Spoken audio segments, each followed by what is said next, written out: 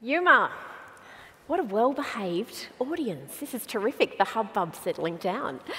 I greet you in the language of deep time in this place, the language of the Ngunnawal and Ngambri people of Canberra.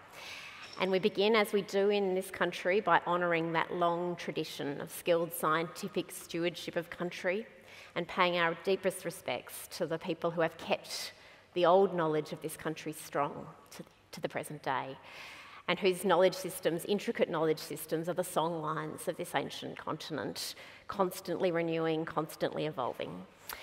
Thank you so much, Canberrans, for joining us tonight for Planets, Plagues and the Power of Science. I'm Misha Schubert. I'm the CEO of Science and Technology Australia, and it's my very great honour to have been asked to facilitate a compelling conversation between two of the greats of Australian science. Just a quick housekeeping thing to begin. Uh, for some of you who are along the edges of the rows, if you wanted to move into the middle, it'll make it feel cosier and more inviting, like we're sitting around in our lounge rooms having a lovely chit chat with two brilliant planet sized intellects. So, can I encourage anyone who might want to creep in to do so? Uh, trust me, trust me, it will make it feel, thank you, thank you so much. Uh, it'll make it feel like a much more intimate conversation.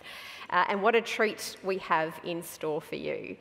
Um, Congratulations, Canberrans, on making it out tonight uh, on a cold, uh, rainy Canberra night.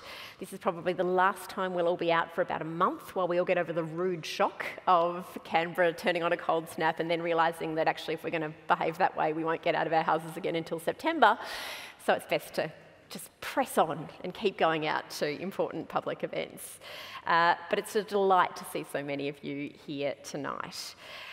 So, tonight, I'm reliably informed that you can call two stars a constellation. We have a constellation of Australian science stars uh, to share some ideas with you, to reflect on what it is like to win a Nobel Prize, uh, the Oscars for thinking, as I like to call them, uh, and to share some observations about where we're at uh, in the long sweep of human progress and history, the project that is the contemporary uh, practice of science, and where to from here.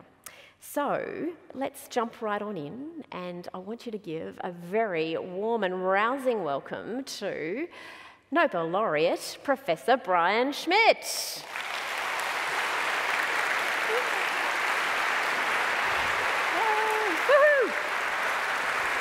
Yes, so good. Welcome, Brian. Good to see you, Misha. Brian, of course, we're not going to delve too much into Brian's biography uh, at the outset because I wanted to actually have him retell parts of his story to you. But of course, won the Nobel in 2011 uh, for some really important uh, research about the nature of the galaxy. Uh, he's, of course, on the National Prime Minister's Prime, Prime Minister's Council for Science and Technology, uh, on the learned academies of a gazillion countries, it feels like, uh, and a regular commentator on uh, many media outlets and on Twitter. Uh, and joining us now with the power of the interwebs and contemporary technology should also be Laureate Professor Peter Doherty from Melbourne. Welcome, Professor Doherty. it worked, yes. Good evening. Professor Doherty, of course, uh, won his Nobel 26 years ago now um, and is a living national treasure as well. And we're going to have a really terrific conversation between these two stars and preeminent thinkers about some of the big issues that we're wrestling with as a society. So, welcome to both of you. Thank you so much. Peter's like a hyper version of himself, so I feel kind of uh, yes. kind of double size. So. Super I'm a bit intimidated looking at it from here. so good. So, look, the official kind of theme or, or, or, organising thought behind tonight's event was to do a couple of things to bring together these two eminent thinkers to have a chat, but in so doing as well to essentially mark the 10th anniversary of Brian winning his Nobel and the 75th anniversary of the founding of the Australian National University. Now, those of you who are paying close attention to dates and are numerate will realise that the 10th anniversary and the 75th anniversary of these events happened last year, but pandemic, so here we are slightly behind timetable, but nonetheless pressing on with contemporary life, which feels like a bit of an allegory, doesn't it? Very good. Um, so let's delve right into a, a, a, conversation. And I wondered if we could start perhaps thinking about the power of science in the age of COVID. So perhaps, Brian, let's invite you to kick off by talking to us a little about the role of science. What, what do you think its role is in helping us to tackle major crises, the big challenges that come our way as a, as a species and as humanity? Um, not just COVID, but things like climate change and antibiotic resistance. Well, if we really think about humanity and the thing that probably most distinguishes us from other species on the planet is we have the ability to write things down and learn from the past. And one of the things that that allows is science to grow and magnify. You're able to take knowledge, share it, learn, not have to reinvent the wheel each time. Uh, and it gives us this amazing power to go out, understand how things work, predict what might happen if we do something, predict what might happen if we don't do something, and take action. And hopefully, that action usually is in our collective benefit, although I think Peter and I can tell you that sometimes humanity takes really stupid decisions based on all the information available. So, science is our secret weapon to essentially predict things. And from that prediction comes its power. It is something you can test, you learn from, you iterate, and it's not 100% good, and it's not 100% right, but it is the most effective way of making predictions, uh, and therefore, thereby, you know, changing the world based on what happens for the better. And that's why it is so powerful. Uh, and it is what distinguishes it from really any other philosophy, if you want to think, that humanity has ever derived. It's, it's essentially something you can test and keep improving. Mm. Peter, do you uh, have further thoughts to add to that? Yeah, well, as Brian said, uh, modern science really begins in the 17th century when, when we had printing and uh, we could publish books and publish journal articles. So it really began with the thinking of uh, a former Chancellor of the um, uh, British Exchequer, uh, Francis Bacon, who, um, who formulated the idea that if you want to understand something, you've actually got to look at it and examine it. You just don't think about it, make pontificating statements, and uh, say this is the way it is. Uh, you actually have to do the work and find out how it is, and that's that's what science is about. Modern science is that you you do experiments and you you publish them, you write them up, and it goes under peer-reviewed uh, uh, uh, scrutiny, and then uh, other people can repeat your observations and see if they're right. It's a very, very, very simple set of rules, but it's actually transformed our civilization, our society. But as Brian said, it's had its upsides and its downside. If we're still back in the 16th century and we were working the way we were then, uh, when uh, large numbers of people died quite young, we wouldn't have a problem with climate change, for instance. So um, basically, as science has changed the world and transformed the world, we absolutely need science to deal with the issues that result and uh, allow us to enjoy the extraordinary lives we live today, where we travel across the planet, where we connect immediately via the internet or by a telephone, and uh, we, we live longer and healthier lives than any time in human history. Mm. So science has uh, made enormous changes to us, but it's also been part of the issue of creating the problems that are now really quite compelling, with climate change being the most, uh, the most obvious, and of course what happened with COVID uh, being a very good example of our interconnected, interdependent, and complex world. I'm interested in what both of you have just said there about sort of science being this sort of set of tools to guide us through complex issues and to help us sort of illuminate some of the challenges. How important do you both think the role of sort of public trust and buy-in in science is for whether we, you know, apply those tools and, and put them into the service of humanity? Well, um, if you're going to be effective at using science to make the world better, people do mostly have to trust you. If they burn you at the stake as a witch, uh, you're not going to get very far.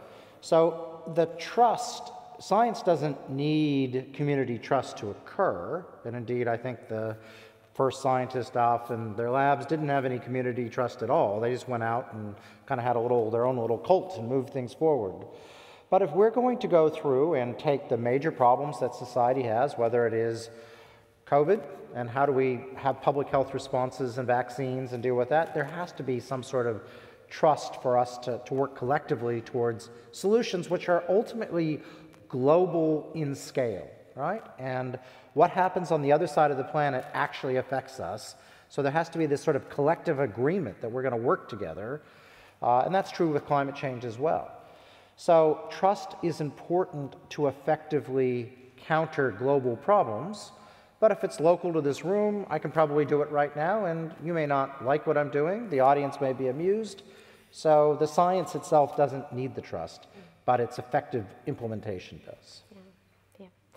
Peter, is this the highest level of public trust that you've felt coming off the, you know, the height of the first two years of the pandemic? Well, in, in my particular field, it's, it's, both a very high level of public trust, but also a certain amount of hostility, which, as, as I'm active on Twitter, um, I, I, do do encounter because uh, you know that's a discussion format and it's open to everybody. So you have all these conspiracy theories and so forth. But I mean, people, we, we, our world has been transformed. I mean, look at the internet and what's that done, what that's done to communication, to, to the role of the journalist, to the role of the scientist, and, and so forth. And it's transformed our world. But it's happened in a, in a kind of a background sense of, of incremental change, where you just buy a new gadget or you log onto a new program. Now, people don't necessarily connect that with science. But of course, it's all a product of science. It wouldn't be there if there wasn't the work of the physical scientists and the engineers and so forth going on in the background. But we don't think of that as science. We just think of that as, oh, something just happens. So when people think of the role of science in society, some people are absolutely hostile to science actually use an iPhone, they get on a plane, they get treated when they get sick, and so forth. So, so trying to get that, that communication about the role of science and what science does in society is not necessarily all that easy.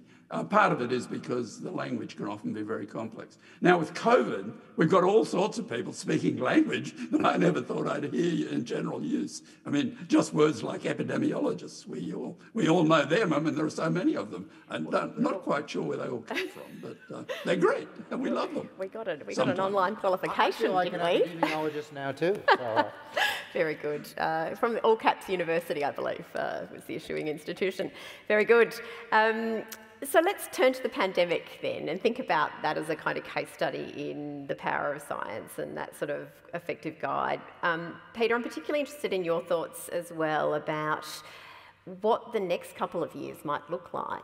So, what we know from history and what we have observed in the first two years of this pandemic about what we're likely to kind of have to navigate, because it's not over yet, is it?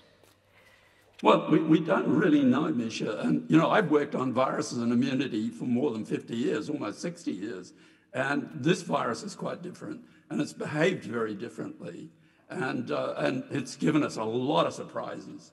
And some of the things we, we thought we knew, we, we don't necessarily know. I mean, there's this kind of reinfection that's happening. Now, because I've worked with virus infections, I've been aware that there are viruses that infect us over and over, unlike influenza. The virus has to change a lot before we get reinfected again.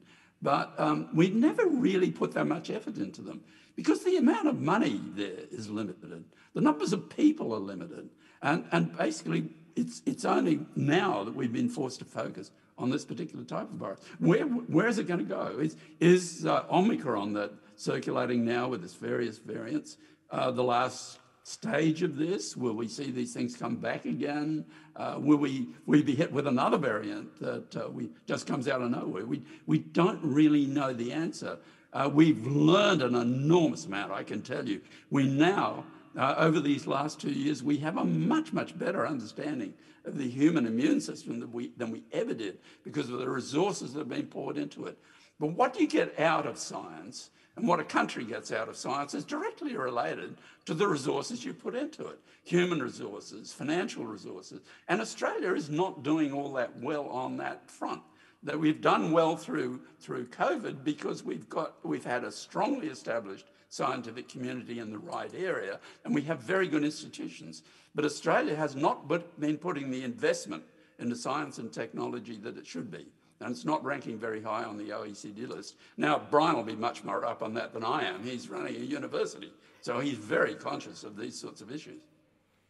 Brian, would you like to see a deeper investment in science and technology in our country? Uh, so I do think it's, uh, it is something that Australia needs to get its head around. Uh, Australia has really, over the last 10, 10 to 15 years, become very in the now, inward facing. We've had a huge commodity boom that's made it quite easy. But one of the things I'm trying to get people to think about is the next 50 years. So if you think 50 years ago, 1972, so that was Gough Whitlam, so it's not that long ago for you know people, but there were some major changes made around that time, not all by the Whitlam government, but there was a lot of changes. And Australia has actually prospered from 50 years ago due to a, a large number of decisions made by all sides of government. We are looking very much at the time scale of thought right now is, is very short. Science is, is, is not a three month, three year thing, it's a 50 year thing. And some things are absolutely never really stand the test of time. You wouldn't think to spend money, but many things do. And that science needs to be invested in people's education, so that we can ensure that Australia is prosperous in the future, or, you know, we will just fade away because at some point the rents that we get from the resources will become less over time than they are right now. And that means our lives will be less prosperous. And so we do need to invest in that and not just ask the question, which, can I say, politicians always ask in every country, but here they really follow through on, which is give me a national interest test that says why what you are doing right now is useful for the Australian people right now. And that, that turns out that is commercialization. That is not science. That's commercialization and translation. It's important, but you need to have the foundation bits of knowledge that uh, underpin that uh, so that you have the ideas to translate. So, you know, we're in the middle right here at ANU of, of actually putting a lot of effort into making sure our scientists, when they have the good ideas, are able to translate them. So that's room, room temperature quantum computers. Well, that comes from basic science that had no national interest to it when you did it. We have people developing the technology to essentially break down plastics into monomers, their, their, their constituent parts. Again, really basic research, no commercialization in that. And you can go on and on. We can talk Peter can talk around the uh, mRNA vaccines, and that was basic research again. Peter's own work on, on T cells, which don't seem to be doing a very good job right now since we keep on getting reinfected. Uh, that's Everyone's basic research, critic, right? But it's, it's really important in understanding um, uh, vaccines and, and, and, and health more generally. So you do need to invest in this. Uh, we seem to have very clear an idea our, in, our, in our head how much we should be investing as a government in defense. Uh, we seem to have a much less good idea of how much we should be investing in research. And research has been declining. It reached a peak total investment across the sector of about 2.3% of our GDP within a year. That compares to the US, which is three and a bit, Korea, which is five, Israel, which is five. And it's dropped now to about 1.7% uh, of GDP, uh, and it's falling. And should I say, if you're worried about strategic issues, during that time, China has passed us and is now up to 2.3, 2.4%, having, when I started as vice chancellor, been down at 1.6 or 1.7. Uh, my home country, the United States, bipartisan support for research because they see it very much as essential to the future of the United States. I would love for people here to realize it's actually for the future of us too. Mm. Such an important point about that. Yes, yes, yes, yes. Indeed. Uh, such an important point about that role of um, well, we, we, every time I hear the term basic research or basic science, I always feel like we need to rebrand it to discovery because it sort of it feels like basic is sort of underselling it. Um, but you're right, that, front, that frontier non applied research that's led to some of those biggest seismic breakthroughs uh, in the course of history. I'm going to invite you both in a minute to sort of start unpacking a little bit about the, the research for which you were both, uh, for you, which we were each awarded your Nobels. But I just wanted to just quickly, before we close off on the pandemic, um, hear from you both a little bit about risk mitigation and how you approach managing risk. Um, so, Peter, you know, part of the challenge, I think, of kind of two years and a bit into the pandemic is about those calculations each of us feel we're making every day about risk mitigation. Yeah. Talk to us about the kinds of calculations you are making with the wealth of knowledge you have around uh, immunology, about your own health and safety and, and community health and safety, and how you sort of navigate that. Yeah, there are sort of very basic things to the scientific life, and, and basically, uh, particularly in medicine, you think in terms of probability and relative risk. I mean, that's what it's all about. Uh, we know it, you know, the vaccines sometimes can give you some bad consequences, but the relative risk of the vaccines compared with catching the infection is, vastly skewed in the favour of being vaccinated. This, this is not thinking that pervades the, the general community, but it's though it has much more, I think, since the pandemic started. So I think this is where we need to be really firming things up in schools and so forth is getting this sort of consciousness of everything as a relative risk equation embedded, embedded in people's minds. Now, I'm 80 plus years old, so I'm at relative risk, at a higher relative risk from bad consequences than from, than from COVID than someone who's 20 or 30 years older, which is the reason I'm actually not in Canberra and still sitting in Melbourne, because Omicron's circulating out there, and even though I'm heavily vaccinated, you can still get quite sick from it. So I think uh, for a lot of us, the COVID experience has changed those perceptions. But whether those perceptions stick or not is, is another matter. The, I mean, science does make you think in very particular ways that aren't necessarily the ways that the general people in the general community approach life. And, and uh, that's part of the problem with science communication is we, we tend to think everybody thinks like us, but they don't, of course. Yeah, yeah. Brian, you're um, you know making some of those calculations that we're all making every day, similarly around um, you know where our risk tolerances are. Um, but you're also the vice chancellor of the Australian National University, where you're responsible for the health and safety of you know a, a very large number of people who um, come into this uh, institution and are educated here. Tell us a little bit about how you've approached managing risk you know, as the head of an institution like this, armed with your science knowledge uh, through this pandemic?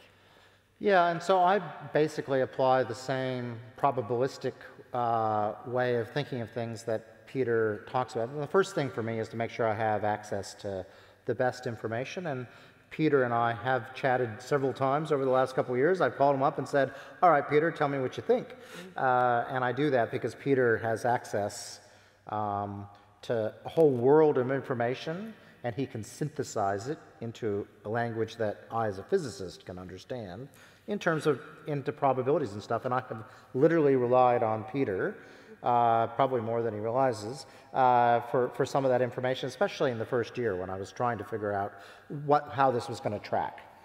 Uh, you have to then overlay that with A and ANU as an institution and the people in it. So I have professors like Peter who have, you know, 80, 80 plus year old immune systems. And Peter tells me very clearly that an 80 year old immune system really sucks compared to what even a 50 year old immune system does.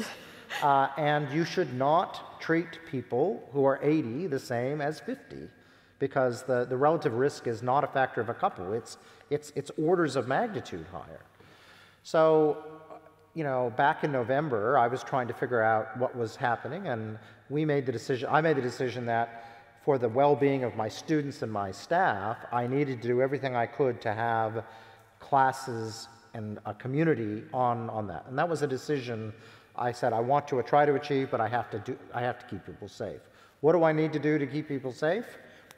Immunization has to be really high, but I also know that people react badly when you say you must be immunized, and you actually get lower immunization rates than if you just strongly encourage them and give them lollipops afterwards. So that's a piece of public, public health advice, right? I also knew that high quality masks, an N95 mask, which if you're at ANU, you got five of, and you can go get five more. And I distributed them for free, so no one had an excuse. And it also set an N95 mask is what everyone's wearing. Maybe you should wear one as well. And I know that that, if you have two people, everyone wearing N95 masks, that you can really knock down the transmission. Finally, I knew ventilation was serious, so here we're in a, in a venue that turns the air over completely within about an hour. That's a very ventilated room, so you are in actually a surprisingly safe space here relative to the average place uh, in, in Australia. And we opened up and we went through and reprogrammed all the ventilation. And then I gave away free RATs to everyone and said, no excuse for not having a RAT. If you think you're sick, take one and stay away if you, you think you have it. So we tried to go through and say, all, those are all the things I had control of. Mm-hmm. And at the end of that, I knew that I will have made ANU a much safer place than any place else in people's lives. So that I can't stop people from getting COVID and transmitting it, but it was very much more likely for people to transmit and catch COVID off campus, probably like an order of 100 higher than on campus. And we've seen that. There's almost no transmission on campus. I won't say it's zero, but it's close enough to zero. It is, you know, and it's a by the numbers thing. And you add all these numbers up, and you eventually get something where you can actually slow the transmission down on campus. Mm. And that means our staff and our students feel safe. Uh, and uh, we're able to go with the painfulness of having a mask. I hate them. But on the other hand, if it can keep people like Peter safe when they're up uh, teaching, then that's important to me. Terrific. Um, one of the special things about the Australian National University is that, uh, in addition to these two distinguished stars uh, who were Nobel laureate, awarded their Nobels uh, at the time that they were at ANU, there are four others. If any of you can name them, there will be a prize. Perhaps uh, one of the chupa chups that Brian uh, has identified as a key motivational technique. Uh, Lord Howard Florey for the discovery of penicillin in 1945. Sir John Eccles in 1963 for his discovery about how electrical pulses control nerves. Professor John Harsanyi, who won a laureate in 1994 for his pioneering work on economic game theory, and Professor Rolf Martin Zinkernagel, uh, who in 1996 shared the Nobel Prize with Peter for their revolutionary work in immunology. So I just wondered if I could get both of you to just refresh us, pretend we aren't all over the uh, full details of exactly what the research was for which each of you were awarded a Nobel, and remind us about what was known in the field of knowledge in your area at the time before your work uh, was recognised as well. Peter, do you want to go first? Well, I, I, guess our work was done earlier. I mean, Rolf Zinkernagel and I going to lie, were a couple of young guys in a small lab in the old John Curtin School of Medical Research. I'd been in Britain and I'd been working, I'm, I'm a veterinarian by basic training. I've been working on virus infections in sheep, a disease called louping encephalitis. I got very interested in the inflammatory cells that go into tissues when we get an infection. And everybody now knows about inflammation. I mean, you, you wouldn't have got a very good discussion on that a few years back. So I got very interested in what these cells were, and I, I was looking at the cells out of the, at ANU, where I, the first time I'd been in a really um, first class academic research environment. Uh, we were looking at the cells we were getting out of the brains of mice infected with a virus called lymphocytic choriomeningitis virus.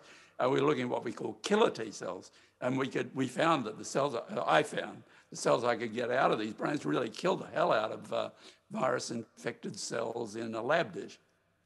Rolf, Rolf turned up and we started to work together and uh, we did what was called a cytotoxic T cell assay, and, and we discovered that killer T cells from one strain of mouse wouldn't kill virus infected cells from another strain. And, and what we discovered out of that, after a lot of experiments that are very complicated, but drew on the mouse genetics that have been dis- developed to discover, to, to understand transplantation by people over the last 30 years before that, uh, that the killer T cells were working through what we call the transplantation system, the, the transplantation proteins on the surface of our cells. So, so what, it, what it told us is how these cells were focused and targeted onto virus infected cells. And their job, viruses can only grow in living cells, right? So their job was to destroy these virus infected cell factories within us. So, what we actually discovered was how these things work. And we discovered why it is we have this transplant system, and it's there for the, what we call the immune surveillance of self. Now, this, this, these experiments were done with very, very primitive systems in a tiny lab, two, little, two guys working together uh, with one technician in labs that were only meant to hold four or five people. Now, I'm in a research, a minimal sized research group for biomedical science. It's probably about six to eight people. It, it's totally different world, totally transformed. I'm, I'm part of the living fossil record of my subject. you know, I plugged away at it for a number of years, and, and as smart young people came in the lab, we changed the technologies, we did more sophisticated experiments. And basically, the type of thing we kicked off back in 1972, 73, 74 at the ANU has now really defined how the cellular immune response is working in COVID. And, and there's a lot of fantastically good science being done. Some of it being done by people who worked with me early on in their careers. So I'm really proud of that. Awesome. I love the cheeky upstart culture. Yes, yes.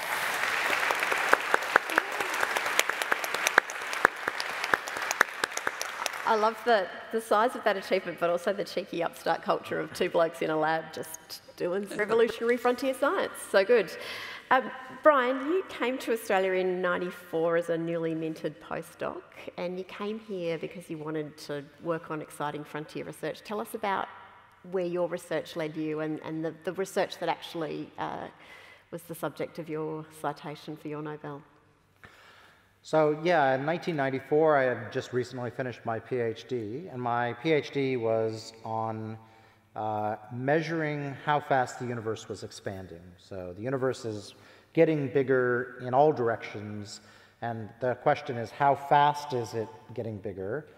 And if you know that, you can run the universe in reverse and figure out how old it is. So I was helping measure the age of the universe, and so my answer was 14 billion years, which turns out to be just about right, uh, although it took a lot of other people working on it as well, so we got a consensus on the value. It was a very uh, heated topic from 1929 when Edwin Hubble first had the concept of it. So my pitch to come to ANU, and I want you to, so I was at Harvard, and you'd say, why would you come to ANU from Harvard? Well, because ANU at the time was considered to be a better astronomy department than Harvard. So for me, it was a very good job. And my pitch to uh, get my job here is I was going to use the new technology to do the measurement in the nearby universe and look to further and further and further objects and measure how fast the universe was expanding back in time. Why would I want to do that? Because as the universe expands, gravity slows it down. And I could weigh the universe uh, by measuring how fast the universe slowed down in, uh, over time, and hopefully figure out whether or not the universe was going to slow down, stop, and go in reverse and have the Gnab Gib, the Big Bang backwards, or whether or not it was just going to expand forever. So that was my pitch. Okay? Uh, and unlike Peter, who had the pure luxury of two people in the lab, I was it. So good. Even but, more, even more Aussie. Exactly. Luxury. So I, uh, but I did have a team of colleagues from around the world. So there were roughly 20 of us. And I, as a 27 year old, was given the freedom to work on this program. We decided collectively as a team, with a few ins and outs along the way, that even though I was like the second youngest person on this 20 person team, since it was my idea and started it, I could run it. And I was given $8,000 for some international travel. And that was basically what I then did three years worth of work with a lot of help from people around the world. Uh, and we made our measurement back in time. And what we found is in the past, the universe was expanding slower than the present, not faster and it had not slowed down, it had in fact sped up. And that speeding up of the universe indicated that gravity, for whatever reason, was pushing rather than pulling. And you say, well, that's crazy. Yeah, that's what I thought. I figured I must have made a mistake. But we checked our work many, many times. And it turns out in 1917, Einstein, as he always did, had come up with the solution for this, which is that if energy is spread evenly, and I mean absolutely evenly across the cosmos, in his equations of general relativity, the universe will be pushed by gravity rather than pulled. And so our discovery meant that 70% of the universe had to be something we did not know about dark energy. We still don't really know what it is, except for it's energy everywhere. But interestingly enough, it means that the universe is speeding up like a epsilon uh, COVID outbreak, except for unlike COVID, it doesn't stop, it just keeps exponentially growing. And that means the universe is not going to end with the Gnab Gib. It is going to get bigger and bigger, faster and faster, and end in a whimper, kind of puffs out where it just becomes all dark and incredibly boring uh, trillions of years in the future. There you go. Amazing, right? Cool. Yes. Yep. He, just to be clear, yeah. Peter's Nobel Prize may save your life. Mine assures that you will not live forever. Yeah. So, yeah. You also save someone's life eventually. Uh, yes. Good. No, no, it'll, it assures that everyone does. Yes, indeed. Great. So good. I'm also interested in hearing a bit more about what the mechanics of this thing are. So you've done this bit of incredibly brilliant frontier research, and you, you know you think it's pretty important. You think it might have set this sort of new. Um, you know, established knowledge now for peers around the world to build off of. How do you know on, uh, that, that, you're being considered for a Nobel? And uh, what's, what's that moment like? How does it actually, what's the transaction when someone lets you know that this has actually happened to you? Tell us, take us, in, take us back into the into time. I'm curious to find out how it worked for you, Peter, yeah. because I don't think I've ever heard this story. yeah, well, I mean, yeah, basically, we're, we're going way back in biology. I mean, Brian's Brian's a physicist, and you know they're very smart people. And Alfred Nobel puts them first on the stage because they're the smartest people in the universe, and they clearly are. And um, so, so, but basically, biology is different, and biology has changed incredibly since we made that discovery, and and that's because of the pervasive changes that have been induced by molecular science. And, and, and, and we, we're just doing things now we couldn't have possibly contemplated doing years before. Now, that's certainly true, true of physics too, I guess. I mean, with improved measurement systems and all the rest of it. But just our whole approach to biology has been transformed. And uh, when we made that discovery, we, we came up with a kind of theoretical interpretation for it and suggested what was happening. And basically, we couldn't prove it because the technology wasn't there. Within 10 years, the technology was there, the results came through, and we'd made some really good guesses. So we, we made a discovery, we described a new phenomenon, we convinced people that something very different was going on, but a lot of people didn't believe our explanation. And, and then other people came along and showed, yeah, these guys basically got it right, their explanation's right. So, um, so we waited for the Nobel Prize. I didn't, we didn't think we'd get it actually because we'd really discovered what the transplant system was for. And there was a Nobel Prize in 1980, um, some five or six years after we'd done our basic work and put forward this theory, which, which was for histocompatibility. And for one of the guys actually claimed our work as uh, sort of uh, uh, as part of his, his grand design. So we thought, you know, we're out of this league. And we didn't think about it anyway. You don't do science because you want to win Nobel Prizes. You do science because you're driven by it. You're driven by curiosity, uh, the, uh, the, sort of, this sort of science. And, and you, you're really trying to understand what's going on. And with biology, that's very complex and very messy.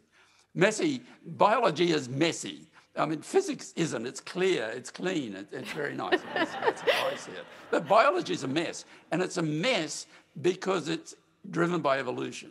So it doesn't, the, the basic laws of physics are there right at the very basics of the chemistry of it.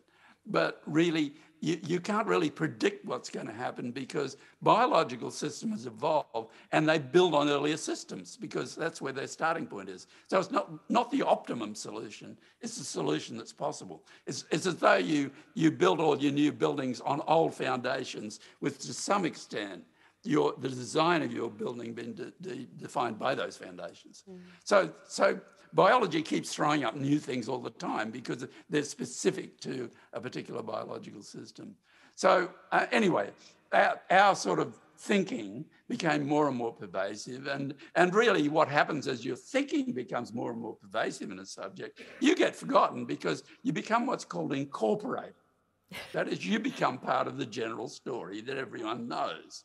So we, I, I didn't think we were going to win a Nobel Prize, and I never thought much about them anyway. And I didn't know much about them really. And then we, uh, we picked up a prize called the Lasker Award in 1995. Uh, the Lasker Basic Science Award, awarded in the United States, it's their most prestigious medical research prize.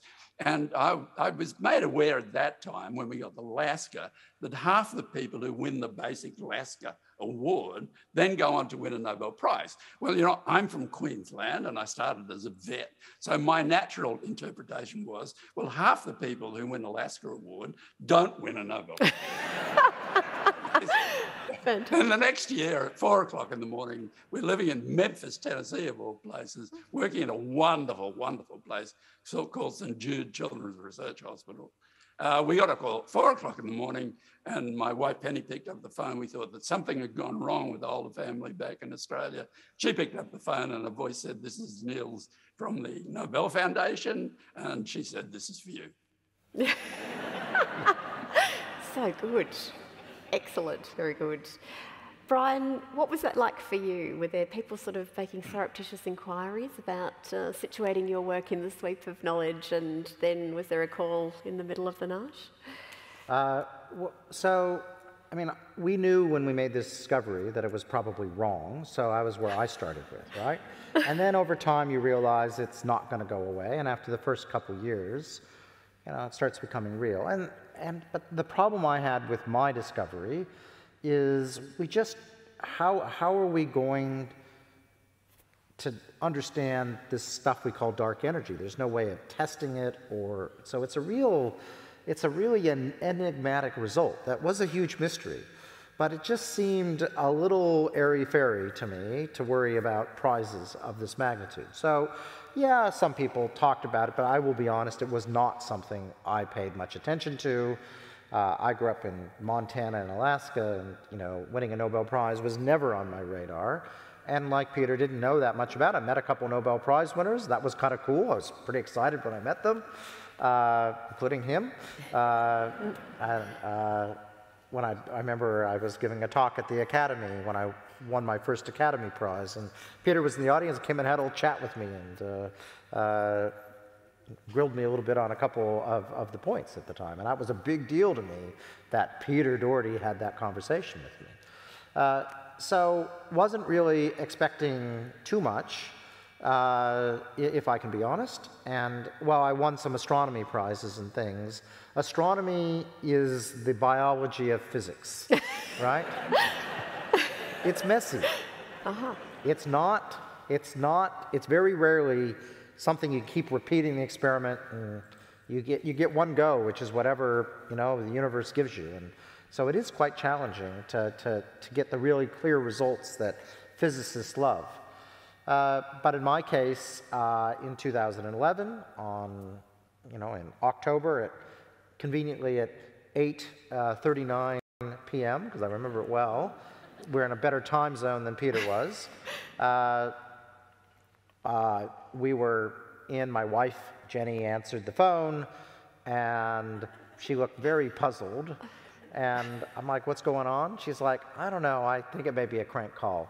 Uh, so good. And, and this young woman with a Swedish accent said, Is this Brian Schmidt? And I said, Yes, this is Brian Schmidt. And then she said, are you sure this is Brian Schmidt? Because this is a very important call from Stockholm, from, from Sweden. And I'm sitting there, uh, I said, Is my PhD student, who some of you will know, Brad Tucker, uh, is he playing a practical joke on me? because he had had a conversation with me earlier that day when he gave me his wedding invite, which was the 10th of December. They said, When they call you up today, tell them you're busy. And so I was sure this was a practical joke. And so I said, as one does, uh, when they said, you know, uh, is this, uh, uh you know, is this really Brian Schmidt? I said, I, I, I'm sure that it is an important call from Stockholm. Uh, and then a physicist got on who I actually knew, and then I'm like, oh my God, this is getting serious. And yeah, they just kind of said, well, we're going to announce it in, it was now probably 41, 841, in four minutes. It was announced at 8.45 and bam, It just happens, and you don't really know what's going to happen, and your life is rather upended, as Peter can tell you. It's kind of hits you like a freight train, and Peter had the grace of being a few years older than me. I was 44 when I got the call. I love everything about that story, especially Brad Tucker's epic role in trolling you through the whole thing. Yeah, yeah, I think we should applaud that. So good. Um, I, I did also get, a, get told, Brian, as well, it's in a, in a hallmark of your humility, that uh, when the first of the ANU staff reached you that evening to say, well, let's get you prepped for media interviews, um, and I have promised him, uh, I won't reveal his identity, so let's just call him Martin Pierce, uh, said that they said, you know, this is amazing, you know, incredible, incredible. Uh, and your response was, yeah, it's, it's very nice. what are you supposed to say? I know. Catches you on unaware. Love it. So good. So um, in terms of how it does upend your life, but also open doors to opportunity, or give you a platform then to use your public voice for good. How is it? How is the winning the Nobel done that for each of you in your respective fields of endeavour? Well, I think Peter should answer first because when I won mine, I called him up about two days later and said, How on earth did you use your Nobel Prize so effectively? Because I have no idea how to cut through in this country on science. So I think, Peter, you, I think you were the master of it back then.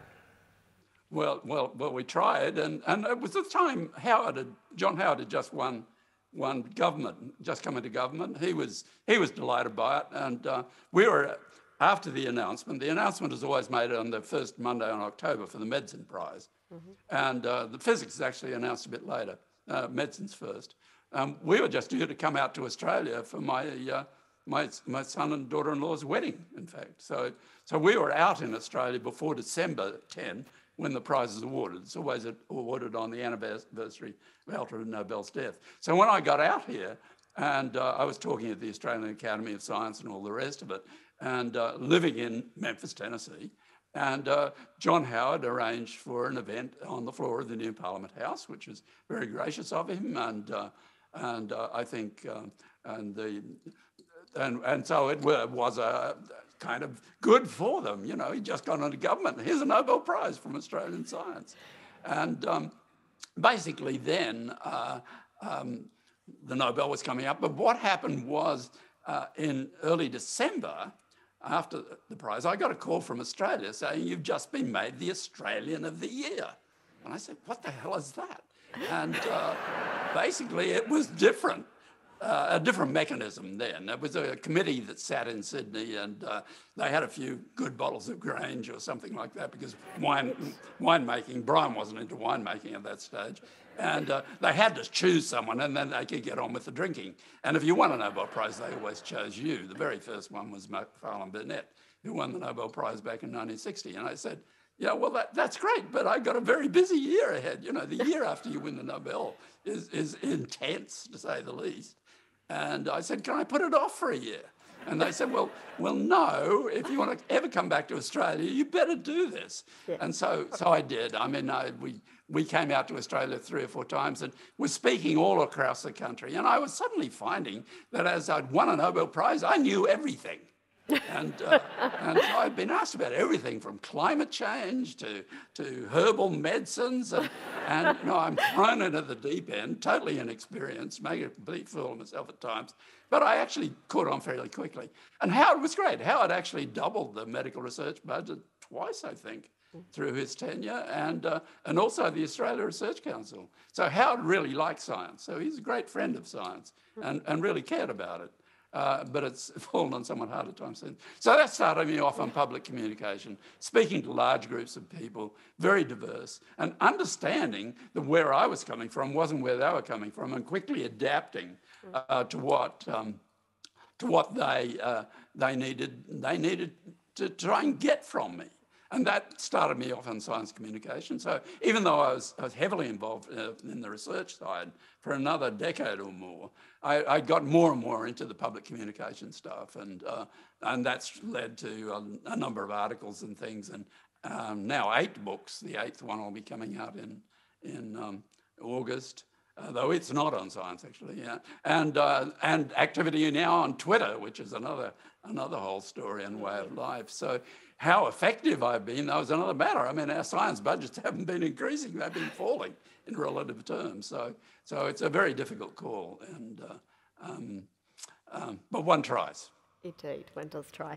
Uh, and um, we'll, we'll, come back to Twitter in the public square in just a minute because it's an excellent uh, exhortation, uh, line, of, line of further conversation. But Brian, for you as well, you also had an audience with a PM and you insisted on going and giving your lecture the next day, which miraculously tripled its enrolment size, I gather. Um, and what was that sort of, how, what was your thinking about how you wanted to use that prize to essentially do some important things for the public good? Yeah, so uh, as I said, I did call up uh, Peter to try to understand how he managed to get in, and he said you, you had a, uh, a, a, good connection with John Howard and one of his advisors, very key. So trying to figure out how to, to do that in Australia, and, and I did get a chance to have discussions, um, as I said, with the Prime Minister of the day was Julia Gillard, um, her tenure didn't last that long afterwards, so it became a little, the politics became a little messier than, uh, you know, 10 years of stability. But uh, I did want to make sure that we highlighted science to young Australians as something that was both worthwhile to do, interesting, uh, great career choice if that's what you want to do.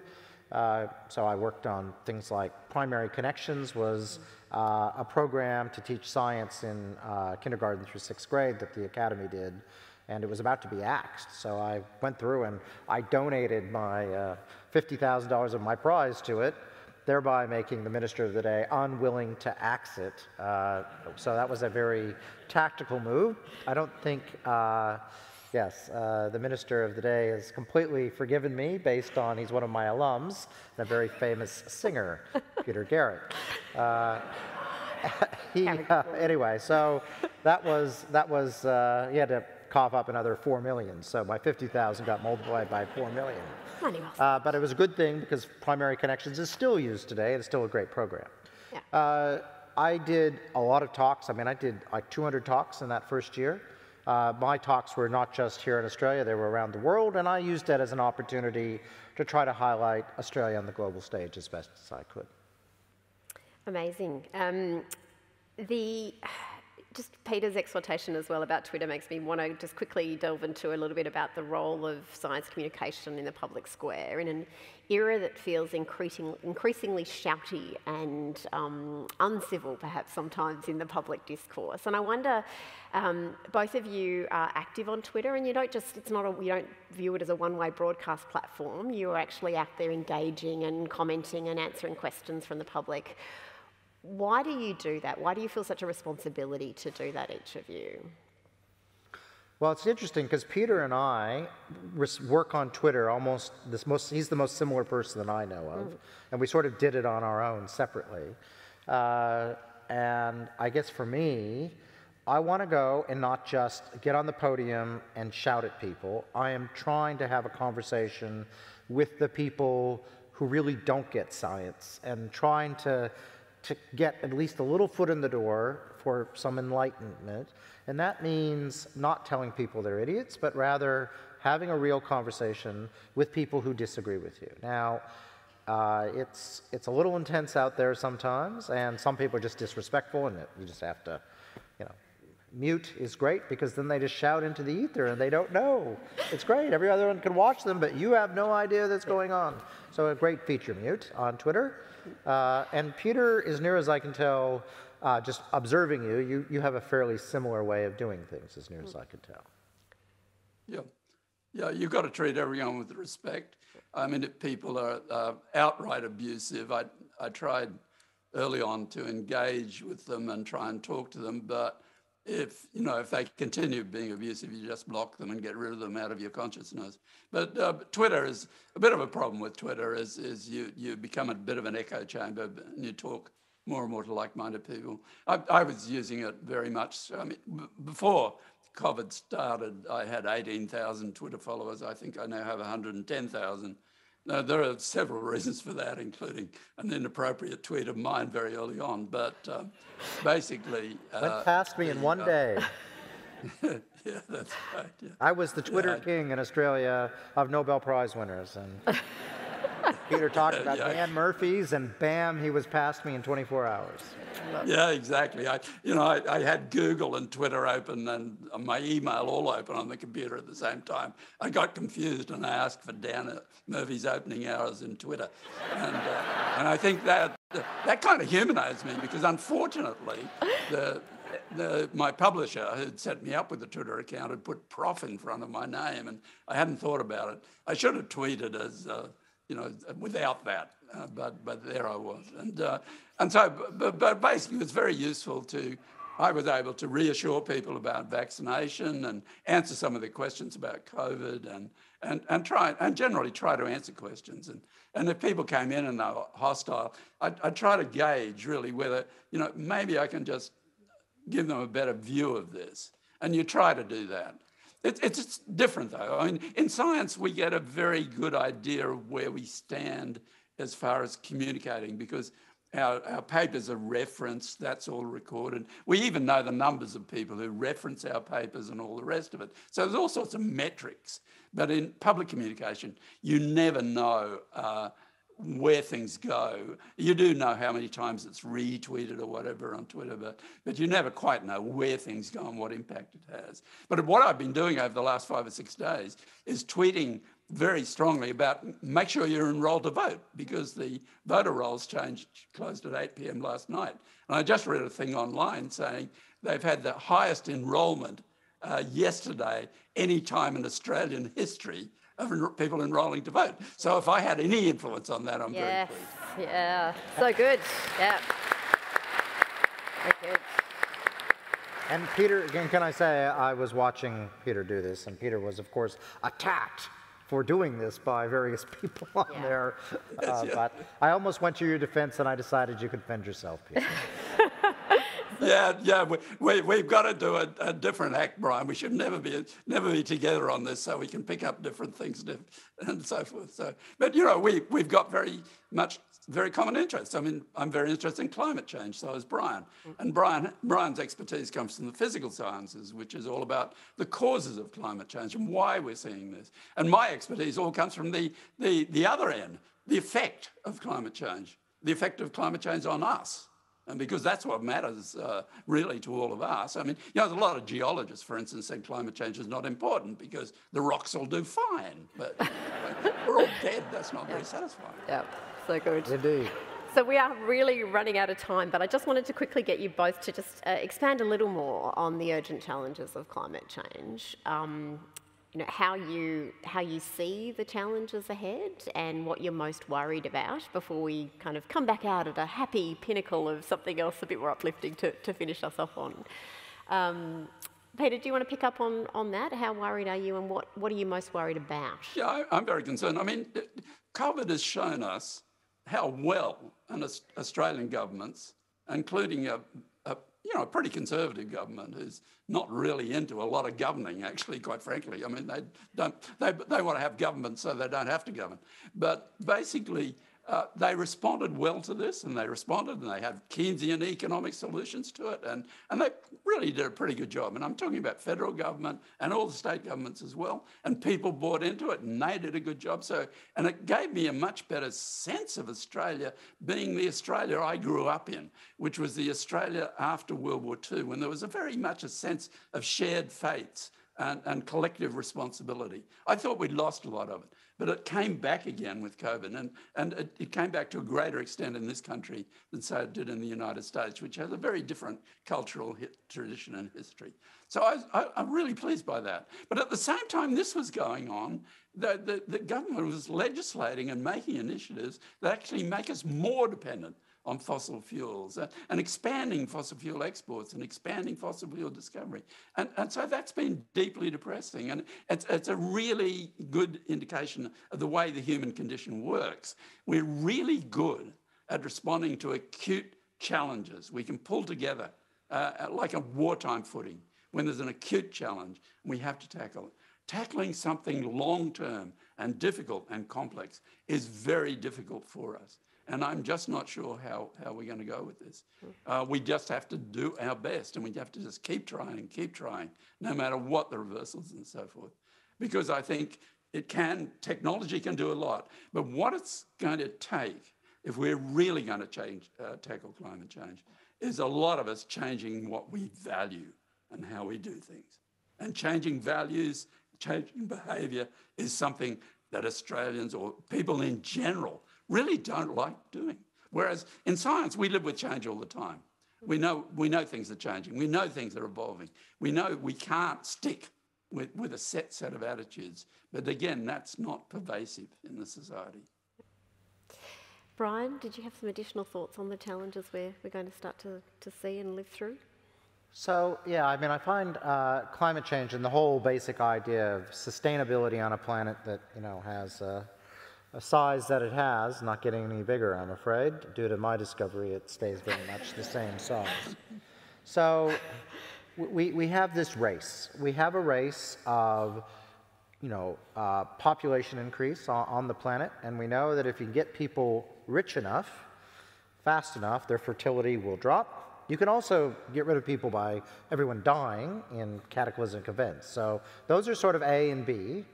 Uh, I, I, prefer A, uh, which is not the cataclysm. But it's a real race because right now, of course, the wealthier you are, the more you know you consume, and this is particularly true when it comes to greenhouse gases uh, and things that are causing climate change. The fact that Australia, which I would judge to probably have the most resources in terms of uh, renewable energy, so if, if when the transition occurs, Australia is probably the country that is going to benefit economically the most of any advanced economy in the world. We have the richest resources.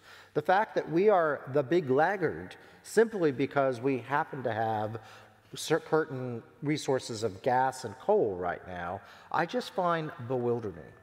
But there is a political solution, which is you got to bring people along. You need to invest in the technological solutions where the change is going to occur. So, you know, if you're going to have a big uh, new hydrogen plants and green steel and stuff, you need to put them in places like Whyalla and Newcastle and Wollongong and places that are affected. And they're not absolutely the most economic, perfect solution for that, but they make sense because they are allowed to politically occur. But what I pe think people fail to think about is what happens if this does not occur. If we do not occur, yeah, Australia will, you know, have more floods, more fires, and our life will slowly decay. But the billions of people around us will have their lives collapse. And instead of having a million refugees, you're going to have a billion refugees. And we will not survive that. We will be overrun, and our lives will be destroyed. And this thinking that we somehow are going to be, it's not going to affect us, is just crazy. The entire planet is on this together, and it's a big system we need to think about. And as Peter says, we've got to keep trying it because, you know, the question to my mind is I'd love to keep things below two degrees. I'm more worried about them going to four, five, six, and, you know, you want to use a lot of uh, greenhouse gases, get into a war. Then you really use greenhouse gases very quickly because that's how it's going to be done. So that's another, you know, feature as things become unstable, the whole thing is going to crumble with war, with you know, all sorts of other things if we let it go that way. So we must work on it. We must work on it now. And Australia is a lucky country. We are going to become possibly the richest country on the planet if we actually achieve that goal. So we should be working faster than anyone on it. And it just amazes me we don't.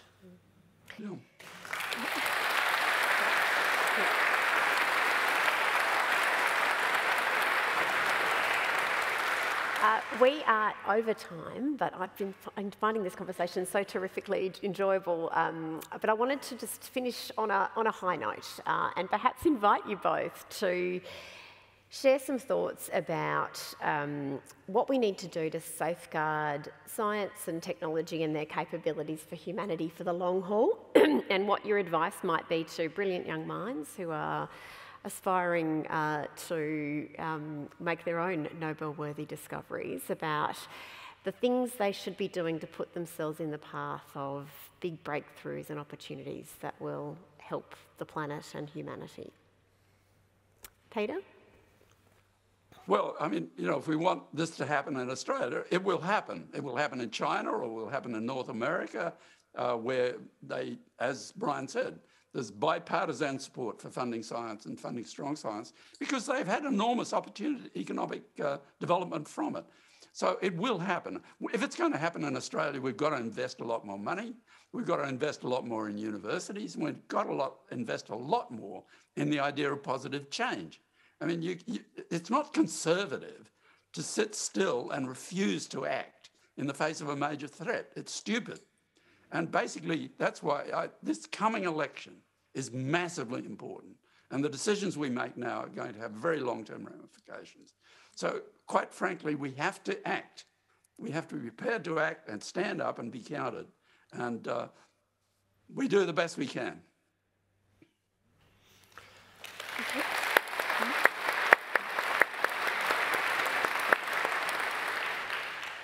So to me, education is paramount, and it's education for everyone so that you get in and you try to levelize so everyone gets a great education. I want people to reflect on education in this country. Uh, it's actually quite uneven uh, at the, you know, one-year-old to year 12. Universities actually level education in this country that has become quite um, uh, unleveled during uh, you know K through 12. So we got to get the education right because education ultimately gives everyone uh, the opportunities they need in this rapidly changing world. Undertaking you know uh, a degree in science or, or a trade that's technologically advanced, that is something that is going to give you the most options for this ever-changing world. Uh, and it's not just science, it's, it's, it's actually thought, so anything where you learn to, to think and, and understand uh, through what I would say rational and critical thinking, those are going to be really important skills. So it, it doesn't mean you're going to be one thing. It means you have a whole host of things you can be. And we need a world full of those types of people to solve these problems, to make sensible decisions within our democracy. But we have to get through and make sure that that early stage, the first 18 years of people's life, we get as many people leveled with education as we can. And those people, I always say, this is an amazing opportunity for you to ensure no matter what happens, you're going to have a good opportunity and a good job going forth. And uh, the amazing thing is that if you're better educated, you live longer for quite remarkable reasons that I'm not sure I completely understand, but these things are all uh, highly related to each other. So it's a great way to, to be. But we do really need to intervene, I think, in those first 18 years, better than we are. Absolutely. Yeah. Um, I'm going to now hand back to Brian to do a formal vote of thanks. But before we do, I just wanted to share a couple of the uh, tips that Brian had about how to win your own Nobel Prize. Uh, Professor Doherty's, of course, written a famous book about this. Uh, but essentially, it was, you know, go do the basics and do them really well. Follow your passions. Uh, you know, tap into the expertise of others, and then, to quote Daft Punk, "Get lucky," uh, was, I believe, Brian's sort of uh, rules for success. Peter's book is going to be on, store, uh, on sale up on the um, fourth level four, I believe, after this, if people want to pick up his book on uh, the year of plague living, uh, the pandemic.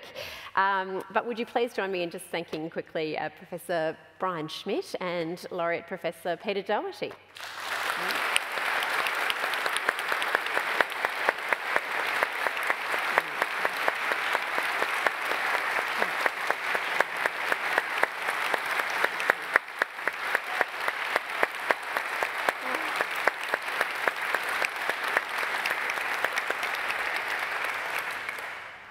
So before everyone goes, I, as the Vice Chancellor of ANU, would really like to thank everyone for coming out today and supporting the university uh, in its 75th year. This has uh, been certainly one of our hardest years, but I could not think of anyone more important to me than uh, Peter Doherty, uh, who has joined us, uh, a mentor for me, and uh, certainly one of the many outstanding people that we have had at the university in our first 75 years.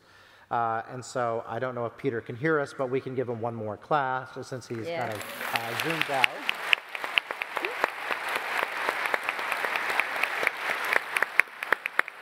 Thank you, Peter.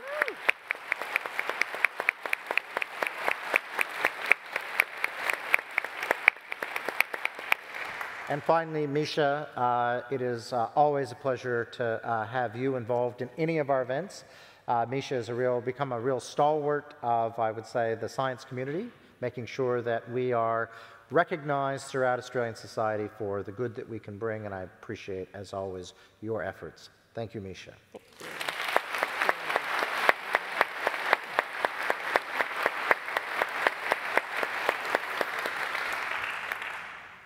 Thank you all again, and we hope to see you around. The 75th year still has a few more months to run, uh, since why celebrate something in a day when you can spend 365 days? So, So good.